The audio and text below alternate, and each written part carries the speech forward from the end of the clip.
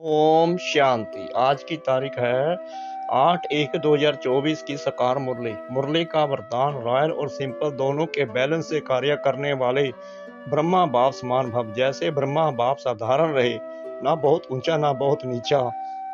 ब्राह्मणों का आदि से अब तक का नियम है कि ना बिल्कुल सादा हो, ना बहुत रॉयल हो।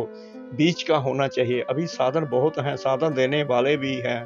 फिर भी कोई भी कार्य करो तो बीच का करो। ऐसा कोई ना कहे कि यहाँ तो रजाई ठाठ हो गया है, जितना सिंपल उतना रॉयल। दोनों का बैलेंस हो, स्लोगन दूसरों को देखने की बजाय स्वयं को देखो और याद रखो, जो कर्म हम करेंगे, हमें देख और करेंगे। ओम शांति।